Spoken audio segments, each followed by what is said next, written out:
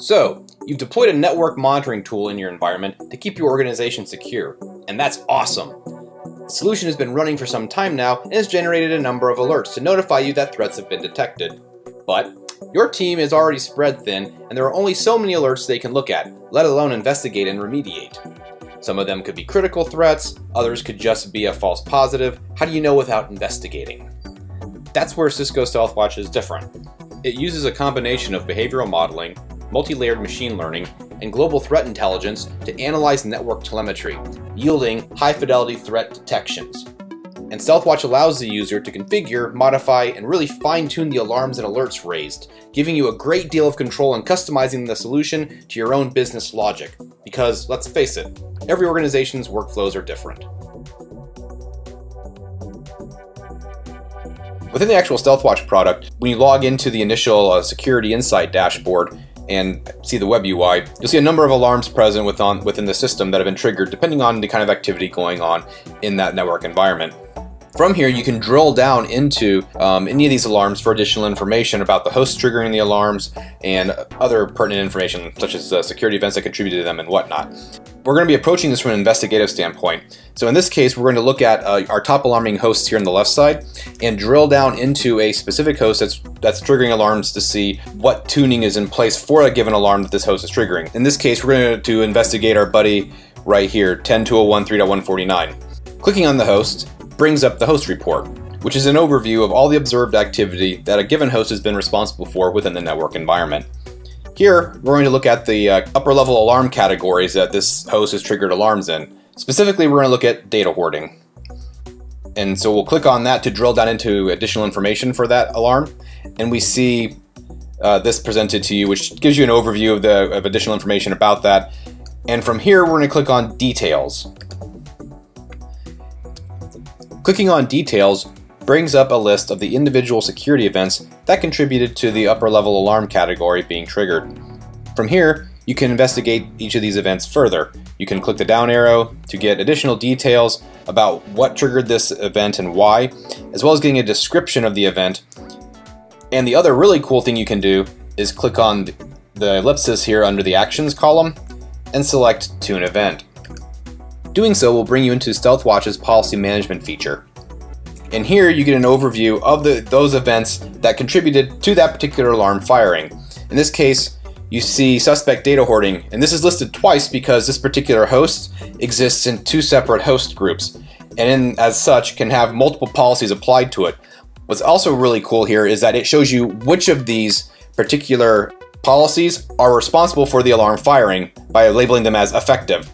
So you can go here click the down arrow to get additional information about this, including you know, the, a description, and you can make modifications as needed to the particular policy to suit whether or not you want to alarm or you want to be more sensitive or less sensitive or whatever makes sense for your given network environment.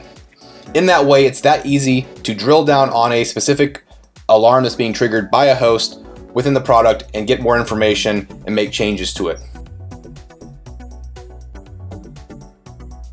One of StealthWatch's most powerful features is the ability to model policy that you may have in your network environment and detect whether or not hosts that are present and operating within your network environment are adhering to those policies. You can do this easily by making custom security events. To do so, you go under Configure, Policy Management, and make sure you're on the Custom Events tab of the Policy Management screen and you'll be able to see what custom security events you currently have established. Here I've created a number of different custom security events that are typically of interest to StealthWatch customers. For example, I've built out uh, custom security events around compliance systems communicating to hosts out on the internet, host systems that are using TLS 1.0 encryption, telnet activity out to the internet, uh, SMB connections from the internal network out to, the internet, and remote desktop sessions going onto the internet as well too. And these are just a few examples of what StealthWatch can do. And so now, let's say you want to create your own custom security event to monitor policy within your network environment.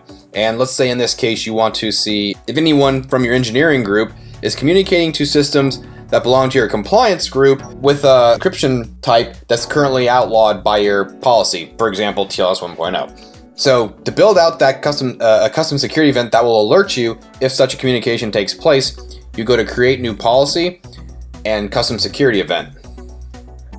You give that security event a name, and you can give it a, a meaningful description, just so it, it, makes sense if someone else comes looks at it.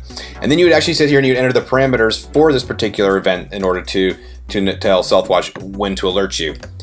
So again, we're looking for uh, people that belong to engineering, so we would do subject host groups. We would dig down into the host group tree, we'd find engineering, hit apply, then we would define the peer host group that they would be communicating with. And again, we're looking for the compliance systems. Now you can also make use of the search function here as well too. And there's compliance, you select that. And then you would define the type of uh, communication and other parameters that would trigger the alarm. In this case, we're looking for a specific encryption type.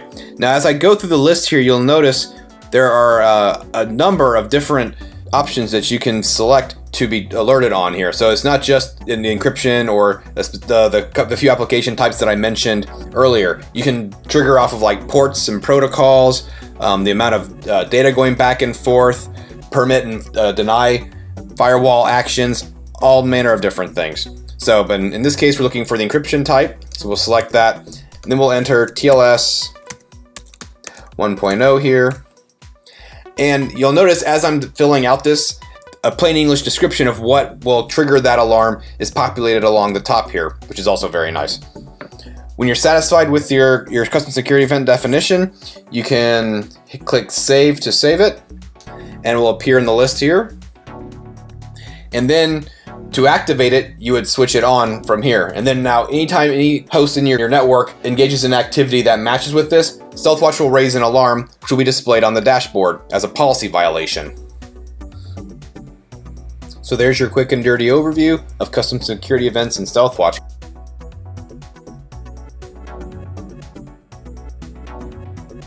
Relationship policies provide a way for you to monitor the current state of traffic between host groups with the additional ability to filter the traffic by applications and services. If traffic behavior exceeds your defined thresholds, you can then have it generate an alarm. So let's create a new relationship policy to see the level of control it can give you. StealthWatch allows you to choose the groups of hosts that you would like to monitor a relationship between. So for the rule I'm going to be building here, let's say you want to monitor the traffic moving between hosts belonging to your compliance systems and hosts belonging to your various business units. You define the two host groups that make up this relationship in these fields by clicking the plus button and selecting them from the host tree. And here we search for the compliance systems host group, select it, and we select the host groups comprising our business units. Now if you'll note, I'm selecting this parent host group for business units. By doing so, this also selects all the hosts that are represented and all the various children host groups represented here as well. Now, once I've done this, if I want to monitor on those specific traffic patterns that I was discussing before, so if you remember, we were interested in whether or not traffic going between these two host groups passed a certain bandwidth threshold, or if uh, the communication between the two of them started reaching undesirable levels of latency. To monitor for those specific events, you click the Select Events button here, and choose from the list. Now, there are a number of different things that StealthWatch can monitor relationship for, but here we're interested in relationship high traffic and relationship round trip time. We select those, we click apply, and the relationship events list is populated with those two. And from here, you can click the down arrow to begin setting the parameters around which you want StealthWatch to trigger an alarm. Now each event we've chosen has a different defined criteria that can be collected by StealthWatch and alerted against. The relationship high traffic alarm can be set to trigger if observed traffic between hosts in both groups exceeds a defined bits per second threshold. The relationship round trip time alarm can be configured to alert if network latency between the defined host groups exceeds the threshold you've defined as acceptable. Now, if you wanted to, you could monitor specific applications and services traffic moving between these two defined host groups, and you would define those here. Making your selections as needed. Now you'll note there are an awful lot of different services and applications StealthWatch can monitor against. Again, you can pick whatever makes sense for your enterprise as part of this particular alert. Now, in this case, we're interested in all network traffic observed moving between our compliance systems and business units. So I'm going to exit out of here. Go up to the top right and click Save to save the event.